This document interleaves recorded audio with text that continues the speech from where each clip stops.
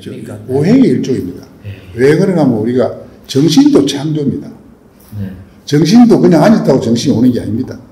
정신도 고행 속에서 이 창조적 생각이 연결고 그것을 결정체가 생기지. 모든 그런 그런 이 동양의 그 서양도 문화가 뭐 고행이 없는 건 아니지만 조금 다른 거는 우리는 자연 중심으로 생활해서 얻어낸다. 자연에서 생활을 했던 지혜라든가 그런 하나의 그 춥고 덥고 어려운 배고프고 이런 가운데서 우리가 정신이 나오거든. 풍요로운 데서는 정신이 깃들기가 어렵습니다. 예. 일종의 뭐좀 솔직히 말하면 내 콤플렉스를 좀 푸는 거예요.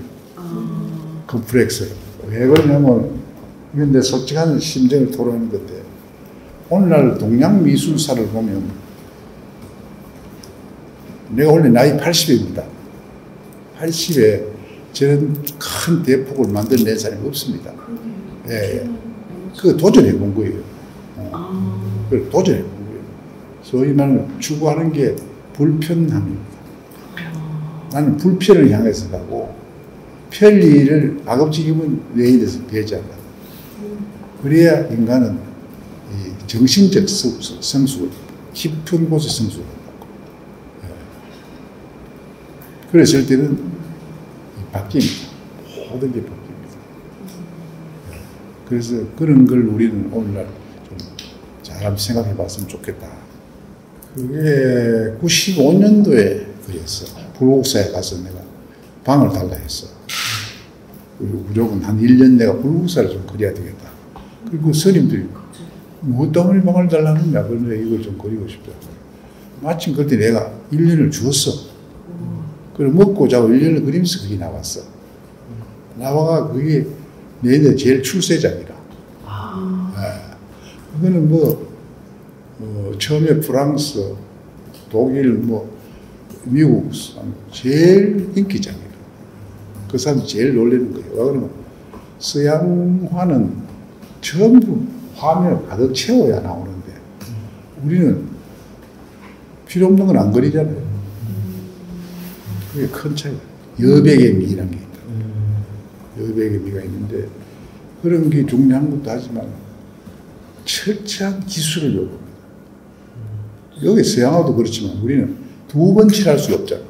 그래서 여백을 배경을 가지고 내 표현하고 싶은 걸 하기 때문에 굉장히 차원이 서로 다르지. 다를 수밖에 없고. 이 정신 통일이 되지 않으면 그림을 붓을 뗄 수가 없고. 지금도 그림 그리면서 수행한다는 마음으로 하세요? 그런 늘. 예. 근데 우리는 그렇습니다. 이, 나도 그렇고 막 똑같지만 가급적이면 상대들을 위해서 살아줘야 돼. 나를 위해서 사는 거야.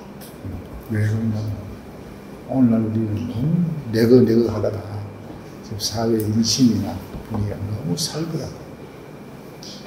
가급적이면 내보던 상대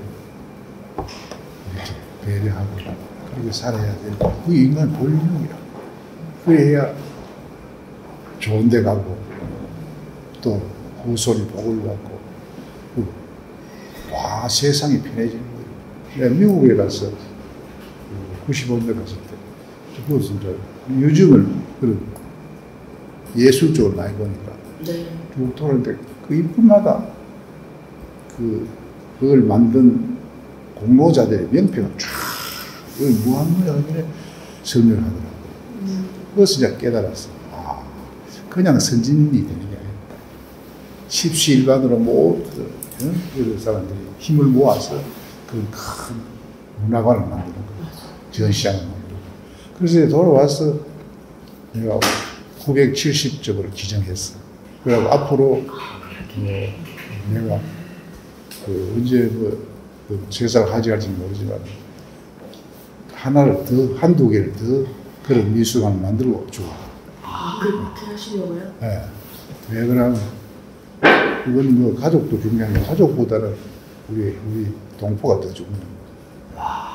예. 그래 생각하고 열심히 하고 있습니다.